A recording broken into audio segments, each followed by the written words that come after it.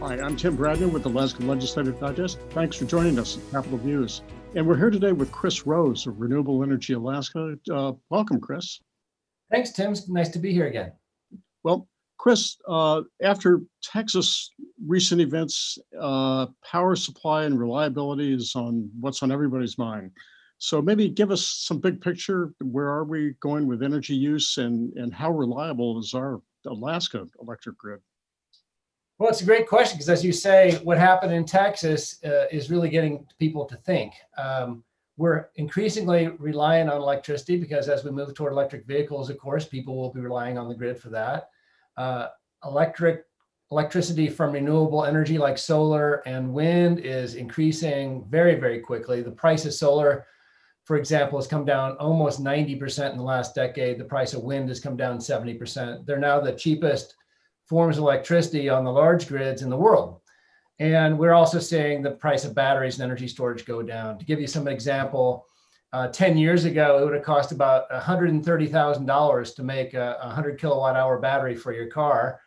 Obviously, not making it very easy to purchase one. Today, that same battery would cost about uh, $12,000. So it's come down uh, by a factor of 10 just in the last 10 years. So all these things are really hmm. uh, swirling around. And here in Alaska, we've finally gotten uh, a, a, mandate from the state legislature for the largest grid in the state, which we call the rail belt grid that connects Homer, the Kenai Peninsula up to Anchorage and all, all the way through to Fairbanks and the Mat-Su, to work together and to have uh, a single stent, uh, a single set of reliability standards and interconnection standards and I think really importantly, a, a single set of planning.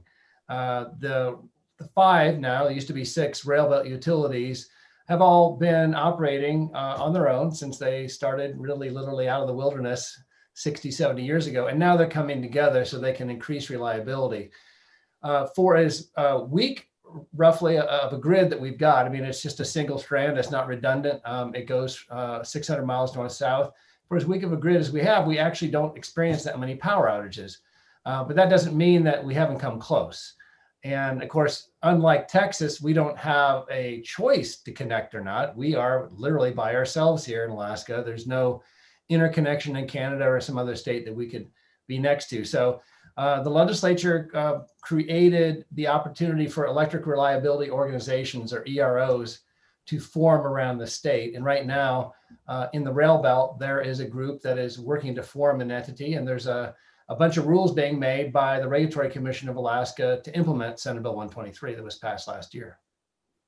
So, Chris, the uh, a key part of it though is, is the technical standards to make sure that the uh, you know as the as the different utilities up and down the rail belt connect with each other. Some of them are are it's important to have a, uh, a, a, common set of technical standards so you, you know the power transfers don't trip up and cause systems to go down. That's right. In the lower 48, all that's regulated by the Federal Energy Regulatory Commission, except in Texas. And so uh, FERC. Except in Texas. right.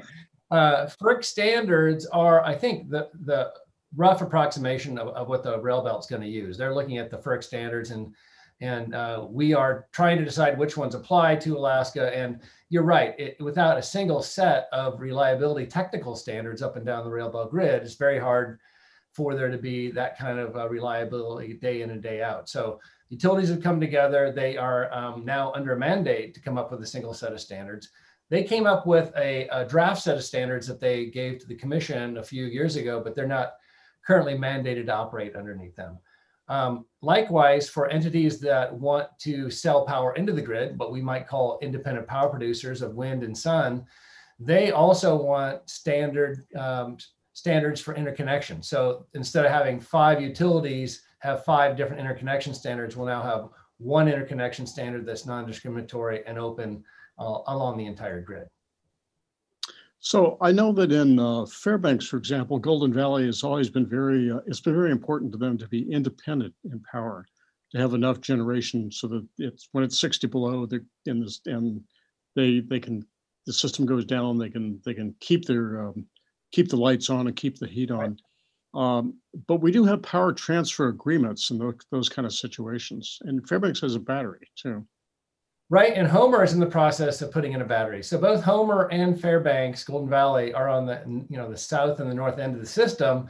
Um, they don't have as many opportunities to transfer power as, let's say, Chugach and Matanuska Electric. Those distances in South Central Alaska are just much shorter.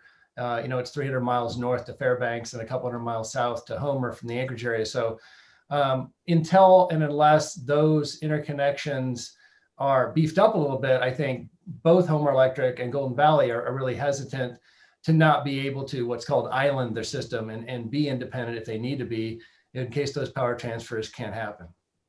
Well, that's, under- I mean, they're at both ends of a long line, so that's, that's somewhat understandable.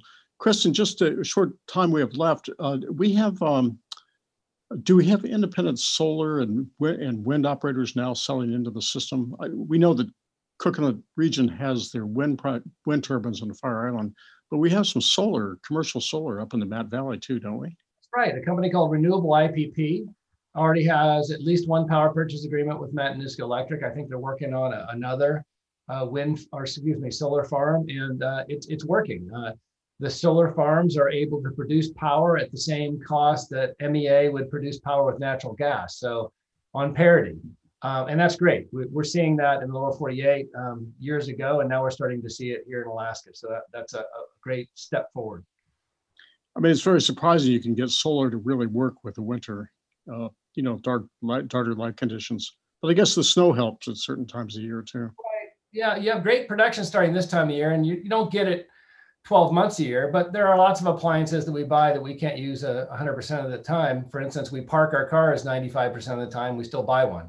So uh, it, the cost of solar has come down so much in the last decade, it's worth having it for the eight months that you can produce power. Yeah. Is it possible we could see an expansion of wind, uh, like, you know, for uh, far more, more wind turbines on tower, on the Fire Island?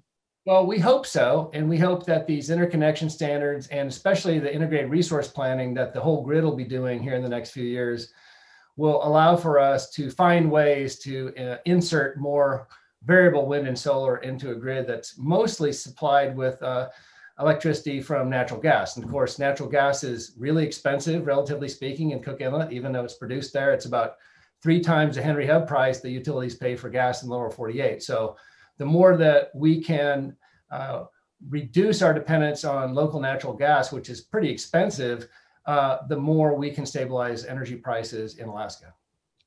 Well, That's, that's interesting. Chris, thanks for joining us today. Um, Thank you friend. hopefully we can continue in the future. Sounds Thank good. you, Chris. Have a great day.